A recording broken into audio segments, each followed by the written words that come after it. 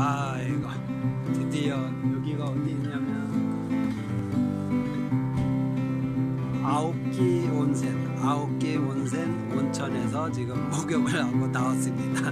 나오긴 했는데 역시 어, 혹시나 했는데 아유 여기는 온천물도 참 좋고 식사 특히 저녁에 그 정식으로 나오는 거하고 반찬 다 흡족합니다.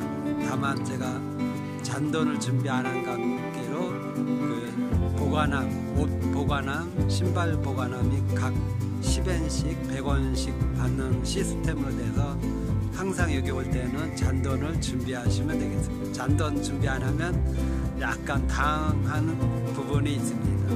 그래서 일본은 어디 가나 잔돈이나 어, 온센 오면은 수건 이런 게 좀 필요할 것 같습니다.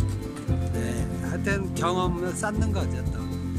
오늘은 아홉기 아홉기 온센. 아홉기 온센에 추천받아서 왔는데 역시 최고입니다 최고. 네 지금 다시 집으로 가고 있습니다. 또 여러분 또 봐요